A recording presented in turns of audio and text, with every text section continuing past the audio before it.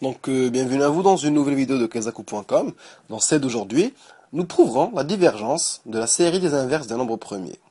On prouvera en l'occurrence que, voilà, limite lorsque n tend vers plus l'infini, somme k de 1 jusqu'à plus l'infini, d1 sur pk est égal à plus l'infini.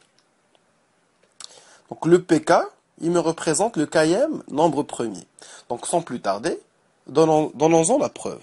Donc cet exercice, en fait, il fait figure d'un grand classique de, euh, des séries numériques. il pose quelques peu problèmes aux étudiants. Et donc, je vais vous donner ici une méthode très très facile à retenir pour le prouver et pour euh, ne pas rater vos points. Donc, au cas, au cas où cet exercice vous tombe dans l'oral ou bien dans un écrit, on ne sait jamais. Donc, on commence par la série harmonique. Nous écrirons, donc, somme des 1 sur k k allant de 1 jusqu'à grand N, à quoi est égal? Donc chaque k, ok, on va l'écrire sous la forme d'un produit des PI puissance alpha ik. Donc euh, i allant de 1 jusqu'à donc euh, plus l'infini.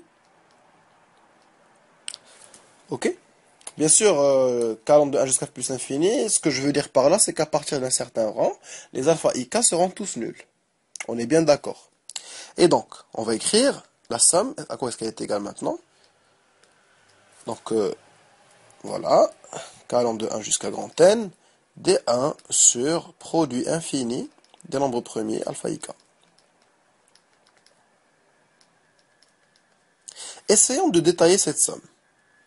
Par exemple, on écrira 1 sur P1 plus 1 sur P2 plus 1 sur P1 P2 plus 1 sur P1 au carré, P3 par exemple, plus... Donc qu'est-ce que vous constatez? En fait, euh, il s'agit en fait ici donc de produits des sommes de 1 à la puissance P à la puissance K. Pour être plus concret, qu'est-ce qu'on va faire?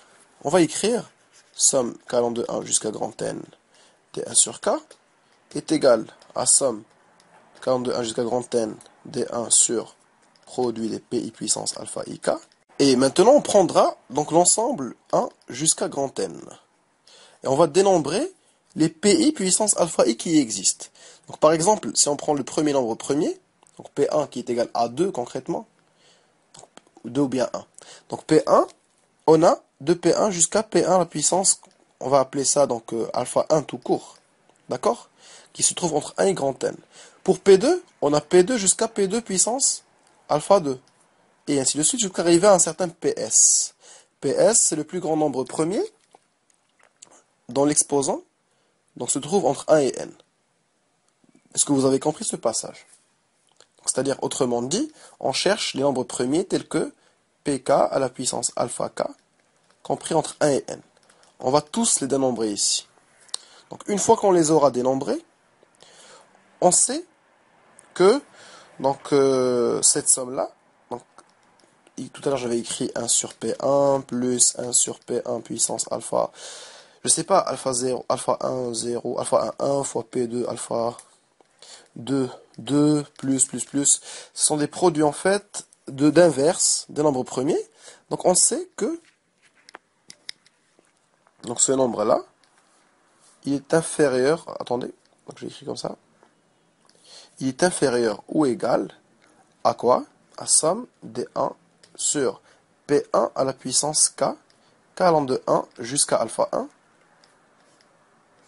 fois, ainsi de suite jusqu'à arriver au plus grand PS puissance alpha S.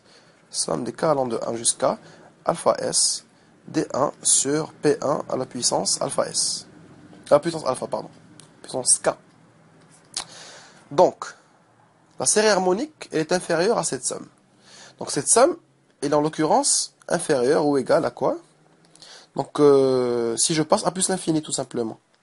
Inférieur ou égal à k de 1 jusqu'à plus l'infini. d 1 puissance p1 puissance k. Fois ainsi de suite jusqu'à 1 puissance, pardon, ps ici, ps à la puissance k.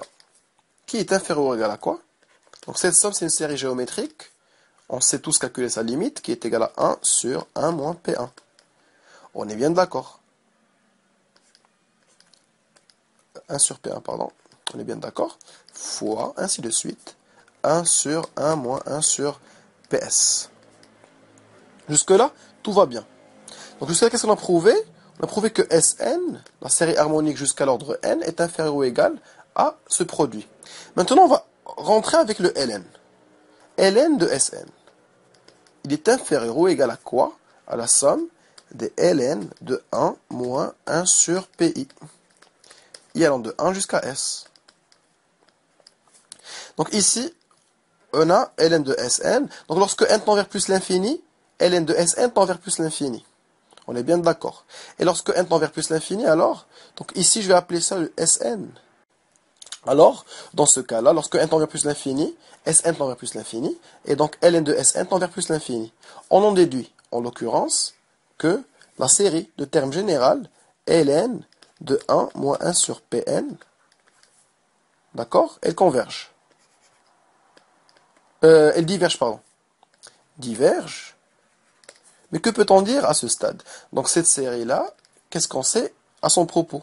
On sait que Ln de 1 moins 1 sur Pn est équivalente à 1 sur Pn, lorsque n tend vers plus l'infini, bien sûr. Pourquoi ça? Parce que Ln de 1 moins 1 sur n est équivalente à 1 sur n tout simplement. On a cette donnée, et on sait que la série de, termes général Ln de 1 moins 1 sur Pn, elle diverge. Il en est de même de la série somme de 1 sur Pn, n appartenant à n. Donc, merci de votre attention, et à la prochaine vidéo sur kazaku.com.